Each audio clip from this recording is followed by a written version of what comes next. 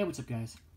As you can see right here, I've got the Arrow Video exclusive uh, version, limited edition, is it limited edition? Yeah, limited edition of the Nightbreed, or Clive Barker's Nightbreed. Um, I have not seen this film. I have heard mostly bad things, actually, about it. Um, I actually have no idea what it's even about. I, I don't know anything about it.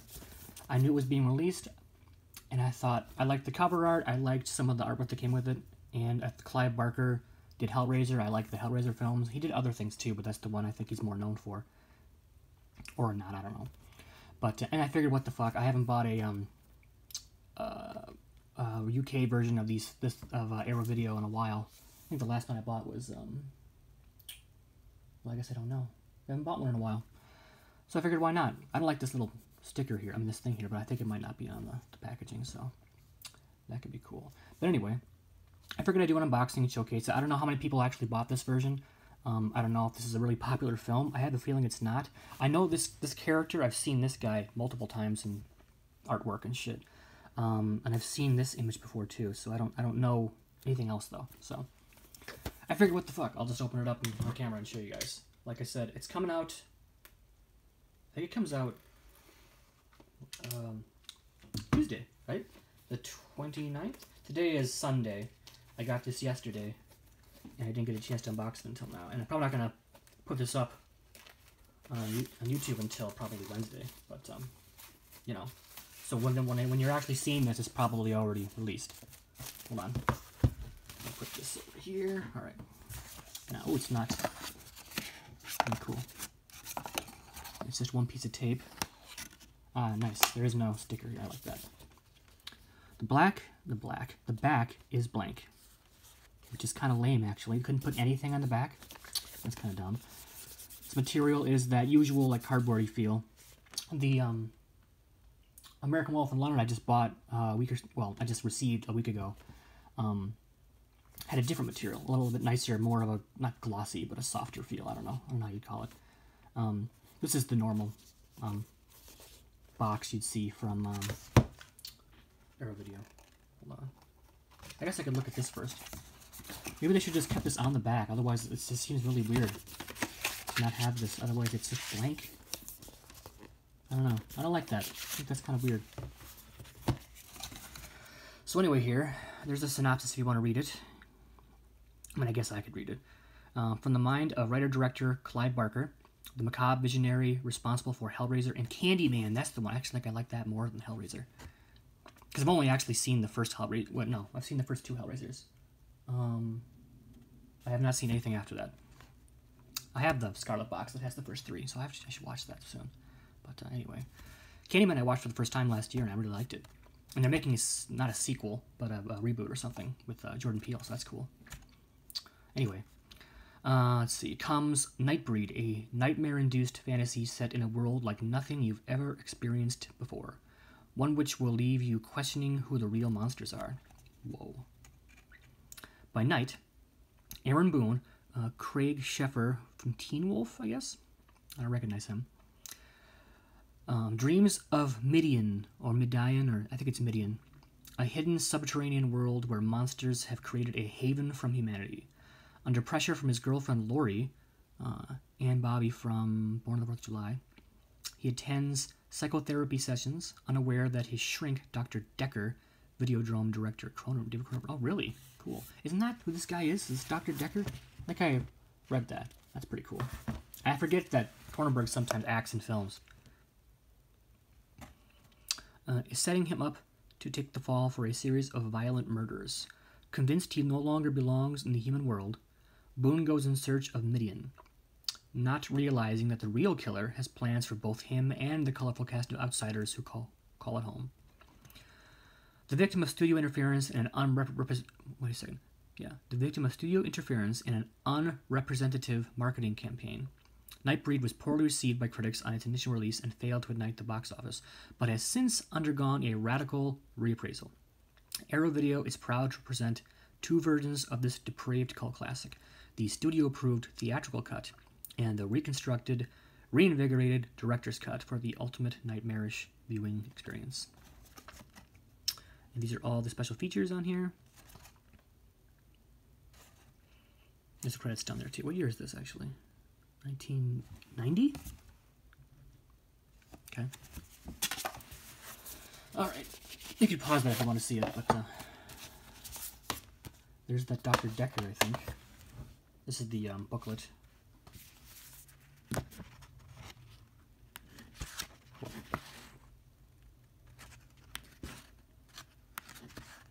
I recognize that guy's face, yeah. Hmm. So I've seen imagery from this film, but I've never seen the film.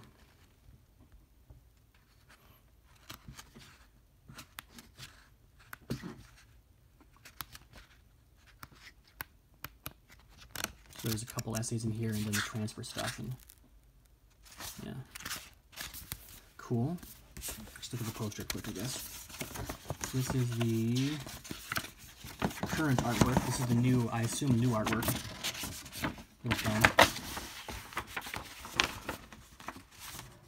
This is on the cover. Oops, shit. And the back is that fucking creepy Dr. Decker with that really creepy fucking mask. I breathe.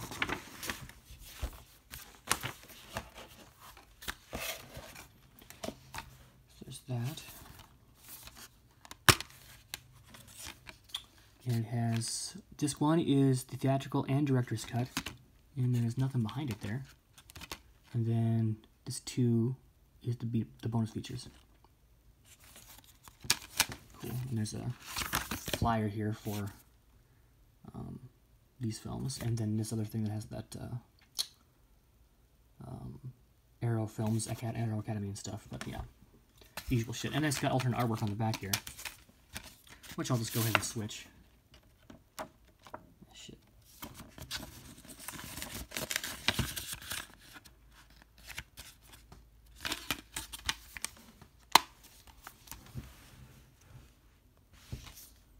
Lori thought she knew everything about her boyfriend. Lori was wrong. Nightbreed, from Clive Barker, the creator of Hellraiser. So I assume this is the original theatrical poster. It's kind of plain, but that's, I guess, good enough. Cool. Cool, cool. Um, 120 minutes. I know that, um, well, I don't know. I guess if you want to, you can pause that and look at it if you want.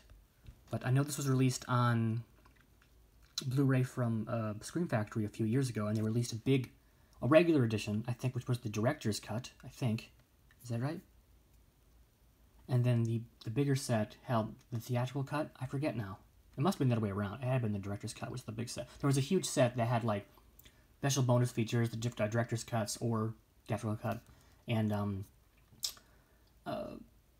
like a, an extra bonus disc and like a big box, a case, and some uh, I think poster cards and stuff. I, I don't remember, but I remember there was a whole ordeal about it being um like um it was being sold instead of theatrical cut or some I forget what it was. Some people's director's cuts or the limited edition sets were sent to people who ordered the regular set or something like that. It was a huge fucking debacle, and they, I mean, again, Scream Factory really fucked that up, I think, or Shout Factory, I guess technically, but um, that's all I know about it. But uh, that's pretty shitty.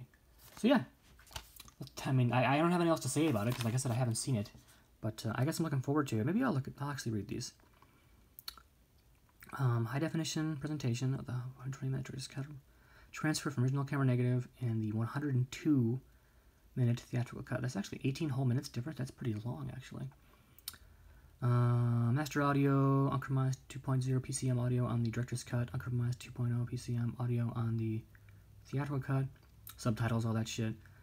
New audio commentary uh, by critics Adrian J. Smith and David Flint. Audio commentary on the director's cut by writer-director Clive Barker, restoration partner uh, Mark Alan Miller. Introduction by the director's cut by Clive Barker and Mark Alan Miller. Uh, Walking the Line Between Heaven and Hell, the new a new video interview with critic Kat Ellinger. Memories of Midian, Midian, Midian, Midian, whatever it is. I don't remember. I don't know. I'm saying it right. New video interview. So usually with these sets, I'm noticing it's really mainly maybe an auto commentary and then a bunch of interviews because those are a lot easier to do than like do a whole thing on the special features or I mean like um special effects or uh, that kind of stuff. But I guess what else are you gonna get? You know, you're gonna talk to the casting crew. But uh, not that I'm complaining because it's still cool. Um, And then the usual shit that document. Is this new? Making much of the documentary and the film's creature design. This is not new though. That's that's old. That's still cool though. Like I said, I haven't seen any of this, so either way. So this is all other stuff that's been released. So multiple documentaries on here. That's why there's a second. There's a separate disc. And this is Region B, and I'm pretty sure that means it actually is Region B. There are some, at least I think so, there are some Arrow video releases that are region free, even if it says region A or B. But I, am pretty sure that I read this one was actually region B. But then again, I don't know. It hasn't been released yet, so I guess I can try it on my player on the current setting and see if it plays. But um, I assume it won't. But anyway, that's it. Thanks for watching, guys. Uh, this was not quite as um, I guess fun to watch as like maybe some other ones I've got because I haven't seen it, so I can't talk about it. But uh, I'm looking forward to checking it out. It is almost the end of the month, so maybe I'll try to get it in before Halloween just to get it in for the 31 Days of Horror. I'm actually keeping up with it. It's been really fucking difficult to watch a single movie a night, which is I did not realize it'd be that hard. Well, I knew it was hard. It was hard last year, but uh, for some reason this year it's been even harder. So it's been really hard to. Well, I'm, I'm up. I'm keeping up with it though. I've got just a couple more days left. Um, in fact, I think. What, yep, there's four days left as of right this second, when you see this, it's probably going to be one day left because I'm going to put it up on Wednesday, I think. Because um, I'm actually out uh, from work from Monday and Tuesday. I usually upload this at work, which is fine. I don't care. Um, it's not a big deal. And maybe I won't even upload this, upload this at all. I don't know. Maybe I won't. It's kind of dumb. This entire thing is dumb. So I uploaded it because I didn't give a shit. You guys can enjoy it or not. If I didn't upload it, then you won't care that I didn't upload it at all because you won't see this at all. So anyway, that's it, guys. Well, thanks for watching, and I'll see you again soon for more steelbooks and stuff that are coming out. There's more Scream Factory shit coming out next month. And next month, obviously, is Black Friday, so you'll probably see some, at least one video from me next month with um, Black Friday shit, so. Yeah, that's it, guys. Thanks for watching, if you watch this. and I'll see you again next time. Thanks for watching, and bye.